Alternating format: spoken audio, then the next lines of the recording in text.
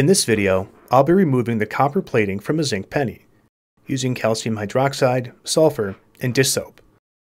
I'm using pennies made after 1982 as they have a core made of zinc, covered with copper plating.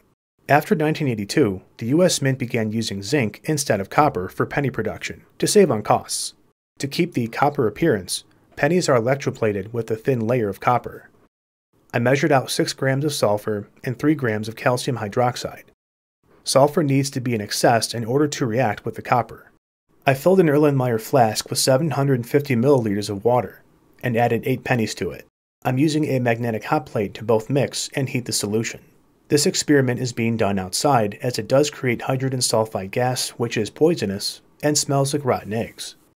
When I add the sulfur and calcium hydroxide to the water, the sulfur does not dissolve very well, as it's nonpolar. I added dish soap to break the water surface tension and allow the sulfur to mix. The temperature is set to 230 Celsius or 445 Fahrenheit and left to run for 2 hours. Afterwards, the solution turns a dark orange, similar to copper.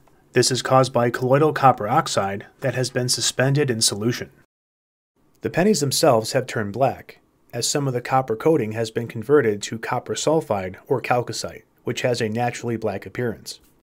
During the reaction, calcium bonds with sulfur, creating calcium sulfide. As calcium and sulfide ions dissociate in water, they separate into positive calcium and negative sulfur ions. Some of these sulfur ions bind to the positive copper ions, yielding black copper sulfide.